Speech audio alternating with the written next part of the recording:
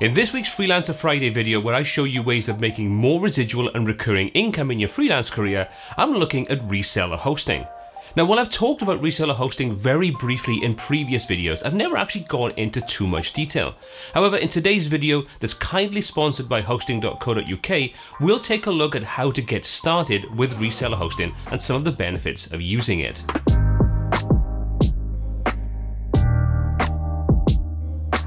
Well, reseller hosting allows you to create your own hosting packages that you can then resell to your own existing clients or new clients.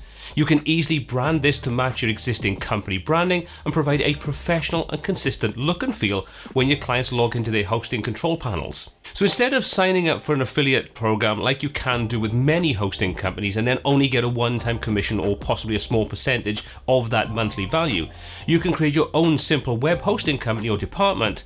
This then allows you to create custom pricing plans and generate income that's recurring. Now this income could easily grow from $100 up to thousands as your client base grows.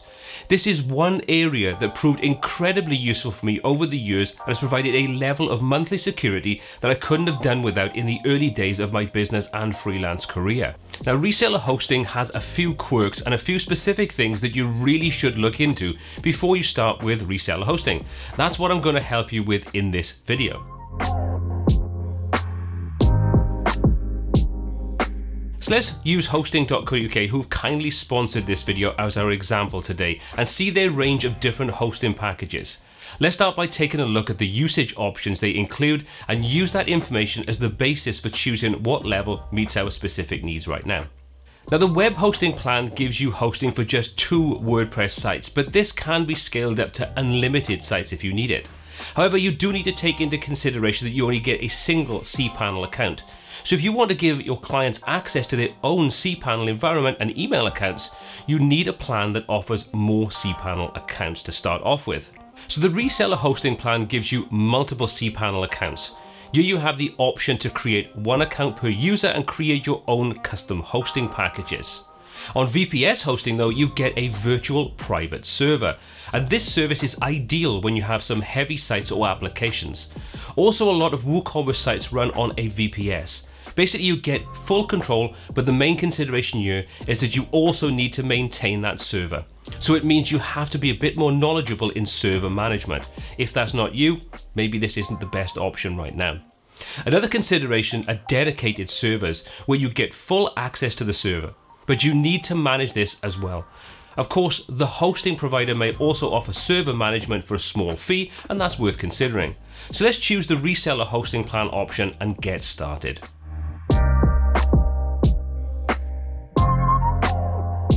Now if we take a look at the features of the reseller hosting, we can easily see what each package offers us.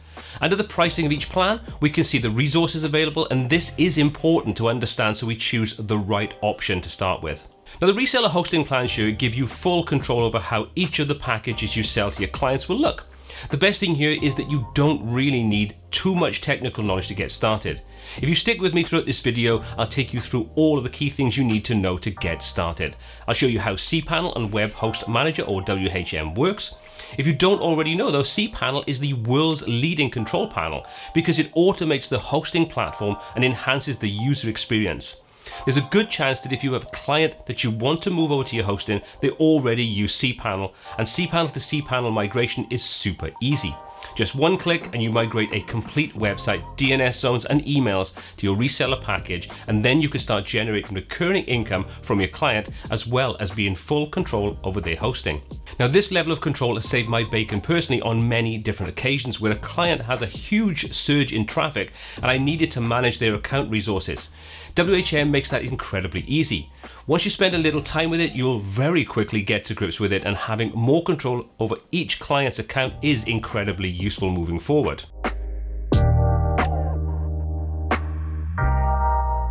The difference in the packages is shown in the disk space and the number of cPanel accounts included.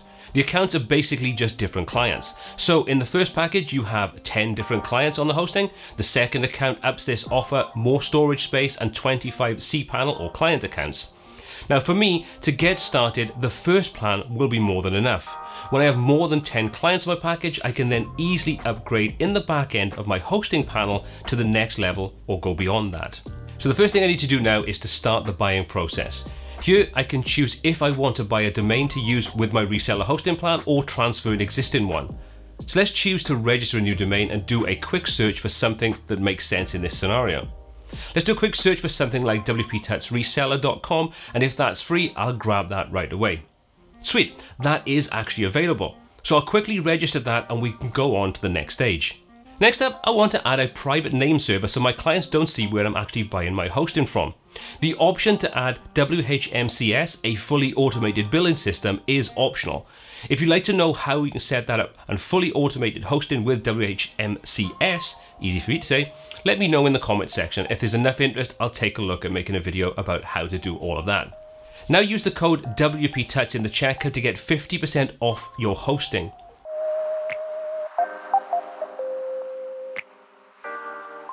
So now we've purchased our reseller hosting package, it's time to go ahead and set it all up. Before logging in to the back end, let's do some basic business planning. What packages am I going to resell? How will my extra income look? How will I invoice my clients for it? And the most important, how am I going to go about selling it? So let's open up a little spreadsheet to figure out what hosting packages I want to create for my clients. Once I have this, I can roughly estimate how much revenue I can make. So in this package, I can utilize a maximum of 10 accounts with 25 gigabytes of storage in total. I want to offer different hosting plans to my clients. Some of my clients have only one website and others need way more. So I came up with this basic setup. The first is to get my clients on board, and once they grow their online business, they of course need to be upgraded to the next plan. When I hit the ceiling of my current reseller plan, I can easily upgrade to the next plan as well and allow me to take on additional clients or create more comprehensive packages for my existing clients. For the prices, I looked up the specifications and prices of where most of my clients host their sites now and adjust my pricing to be just a little bit cheaper. If you'd like to have the Excel sheet to find out what prices your competitors made and how I calculated my hosting, you can find that over on hosting.co.uk's website and I'll add a link to the description so you can check that out. So now that we have the plans all figured out, I can either add a new section to my website or simply inform my existing customers that I can provide them with hosting. Now I found that most business owners just like one point of contact for their website. So most of my web design clients use me personally to manage their hosting for them and proved a great resource of residual income over the last 10 to 15 years.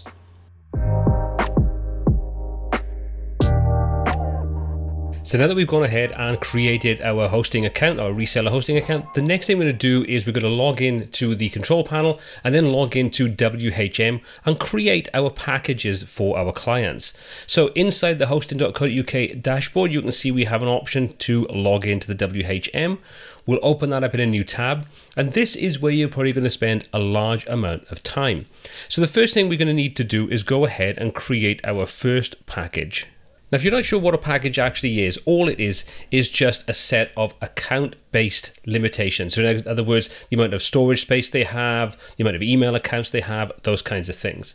So, let's go ahead and add our first package. We'll give this a name and we'll call this Hosting Micro. We can set the storage space on this. We'll set that to 1024 and we'll set the bandwidth limit to 9999. So, this is just the amount of megabytes that you're going to allow to go through any month. So then we can say we want to limit the number of email accounts. We'll say they have a maximum of 10, for example. And then we'll just go through and say we'll have five SQL databases, so they can have five different databases running on there, which could be quite useful. If you want to limit the number of subdomains, you can do that. We'll say this is a really basic account, nothing too extreme inside here. And we'll say max add-on domains, for example, two. Now you can obviously set this up any way that you want and what I would normally tend to do and what I've done in the past for my own clients is I create a series of different accounts for their different usages. So someone that might have a really small site that has small amounts of traffic, we can put them on a quite a low plan.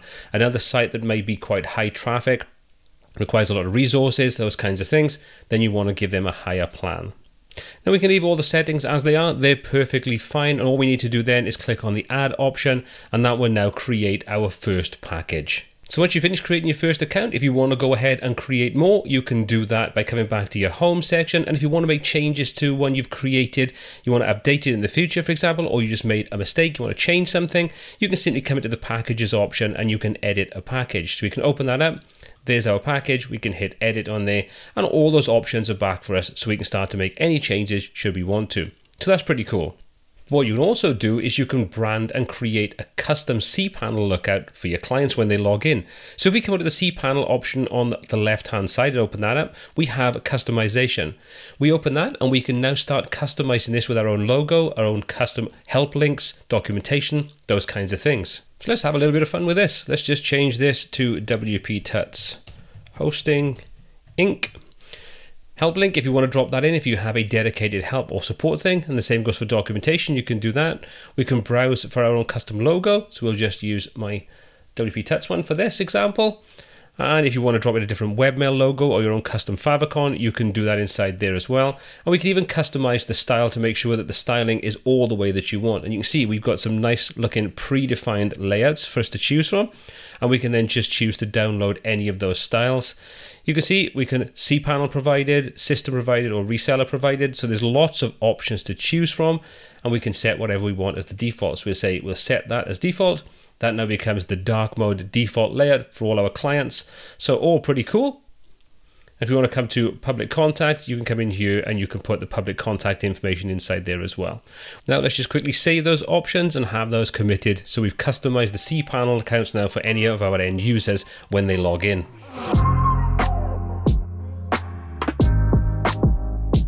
Now the next thing you're going to want to do, once you've set up packages and you have new clients come on board, is to set up their accounts for them. So to do that is really easy in WHM. All we need to do is go to account functions and inside there we've got an option that says create a new account.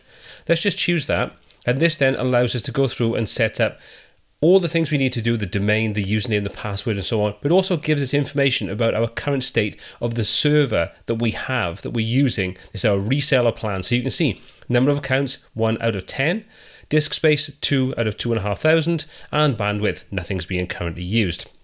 It also tells us the number of packages that we have underneath and how many accounts are using those particular packages. So you can see there's our hosting micro that we just created. And you can see currently there are no accounts using that. So let's just take a look underneath now. So this is the first thing we're going to need to do, which is go ahead and set up the domain information. So let's drop in the domain for our client's website. You can see what will happen is it'll automatically create a username for you, which you can change if you want to, which I would generally recommend and use something a little more difficult to actually remember. Drop in a password and you can use this password generate if you want to to generate a password and you can come into advanced options and you can configure how you want the password to be generated, which can be very, very useful. And once you've sort of got that, you can say you want to copy that password from there. So we'll copy that, we'll use that password. That will drop the password in for us, and then we can just drop in the email address. Now, I would generally recommend that you use the email address for your client because they will be notified then if there's any kind of problems with their account, they're getting close to their usage limits, those kinds of things. So this keeps them updated. Generally, it's also probably recommended to have a dedicated email address for your client to have just those warning notifications and let them know just so they don't get scared when they see an email saying there's a problem or they're getting close to their limit of their bandwidth, those kinds of things. Always really useful. Next up then we can choose the package. So we've already got one package created, but if you have more packages, they'll all be listed inside here. So we'll choose this package as our option. And then we've got some more options underneath. We don't really need to configure these kinds of things. We can leave them as they are. They will work perfectly fine for most use cases. And so once we finish there, we can simply come down and hit create. That will go through the process of creating that new account, setting everything up for us, and once that's completed, we'll have all the information for the account ready. There we go, there's all the details for our new account all set up. Now it's generally quite useful to keep a copy of this on your system somewhere very, very safe, so you've always got information should you need this to get back into your client site. Now, if you're setting this up for a client and you want to get started straight away by uploading all the files you want, setting up WordPress, those kinds of things, you can simply hit the Go to cPanel option on the top right hand side and that'll log you into the cPanel. And as you can see, this has picked up the styling that we set up for all of our new cPanel accounts. So we've got the dark mode active, which looks pretty cool. Alternatively, when you're coming back in at a later date and you want to access your client sites, you can simply come into your WHM. And if we come into the accounts, we go to account information and we'll just list accounts. You can see there's all of our accounts and all we need to do is click on this little CP icon and that'll then take us into the same location for our site. So you can see there's our branding at the top. So we're branded as WP Tuts, the hosting and everything. So all the things we've set up so far are all now in place.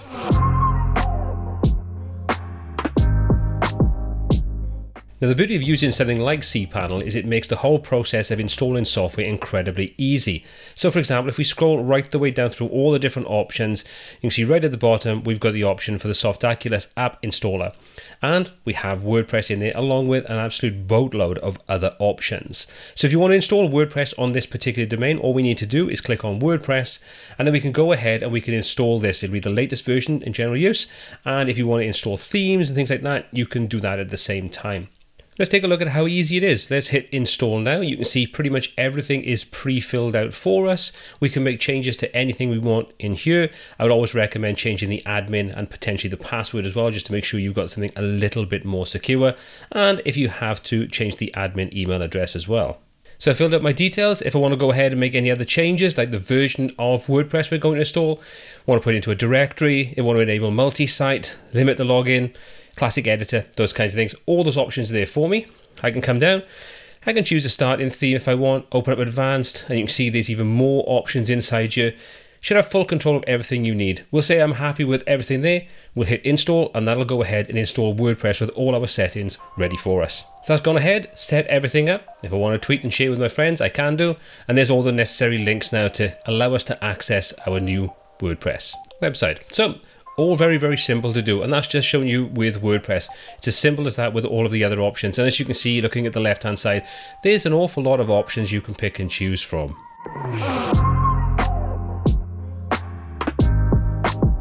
So there we go, that's how we can take reseller hosting and we can start to create residual income streams from our existing or from new clients as they come on board. As always, all the links for everything I've covered are in the description below. And if you've got any comments, questions, or feedback, please leave those in the comment section. I'd love to hear from you. My name is Paul C. This is WP Tuts, and until next time, take care.